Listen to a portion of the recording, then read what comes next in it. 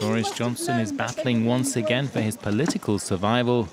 The former Prime Minister will give evidence to a cross party committee over several hours in a televised session about whether he lied to Parliament.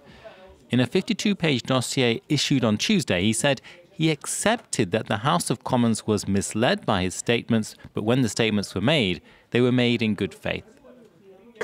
I now call the Prime Minister. The so called Partygate scandal centres on allegations he was present at alcohol fueled gatherings in Downing Street during 2020 and 2021. Mr. Speaker, I want to apologise. When most of the rest of Britain was forced to stay at home under COVID rules that he made. Extraordinary sacrifices. I know the rage they feel with me and with the government I lead when they think that in Downing Street itself the rules are not being properly followed by the people who make the rules.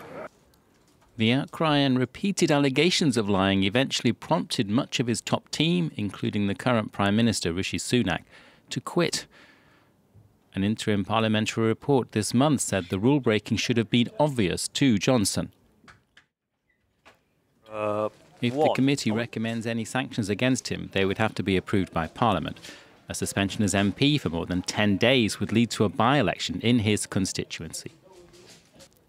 Meanwhile, newspapers such as The Independent have already dismissed Johnson's defence dossier as a pyramid of piffle.